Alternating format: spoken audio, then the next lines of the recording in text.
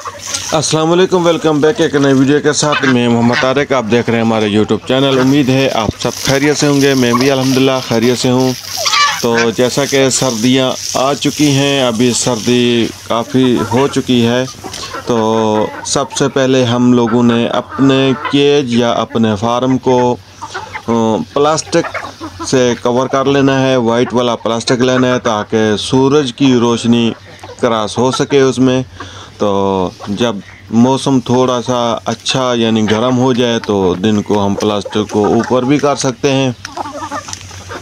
तो बाकी घर में हैं या बड़े फार्म में हैं, इनका बहुत ज़्यादा ख्याल रखना चाहिए क्योंकि सर्दी की वजह से बहुत सारी मुर्गियाँ हमारी एक्सपायर हो जाती हैं, जैसा कि सर्दी में इनका नज़ला, ज़ुकाम और गले की खर खर करना और बहुत सारे इशू बन जाते हैं सर्दी की वजह से। और मेन मसला जो है, सर्दियों में मुर्गियों को जो ही ठंड लगती है तो मुर्गी अपनी एवरेज, अंडे की जो एवरेज है, उसको कम कर देती है। तो बड़े फार्म में बहुत सारा नुकसान हो जाता है कि मुर्गियाँ खुराक बराबर की खाती हैं और एगलन जो है ना, वो उसमें फ़र्क आ जाता है, वो, अंडे जो है ना, अंडे की मकदार बहुत कम हो जाती है। तो वैसे भी आप लोगों ने, अभी सर्दी का मौसम शुरू है, इस मौसम में आप लोगों ने मच्छी का गोश्त,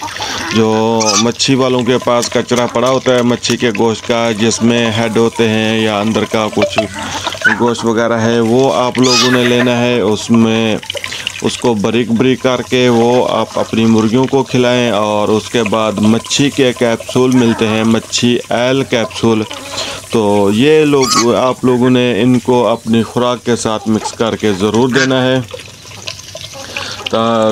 उसके बाद मुर्गियाँ हमारी हीट पर रहेंगी और ज़्यादा से ज़्यादा अंडे देंगी। तो बाकी जितने भी नए दोस्त हमारी वीडियो देखते हैं, उन सबसे गुजारिश है हमारे चैनल को सब्सक्राइब करें और घंटे का बटन ज़रूर प्रेस करें ताकि नई वीडियो भी आप तक आसानी से पहुंचेगी। तो वीडियो बिल्कुल ही हमारी छोटी सी है तो इन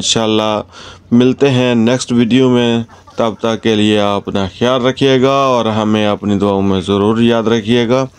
तो हो सके तो इस वीडियो को अपने दोस्तों के साथ ज़रूर शेयर करें ताकि जितने भी लोगों ने मुर्ग घर में या फार्म में मुर्गियाँ रखी हुई हैं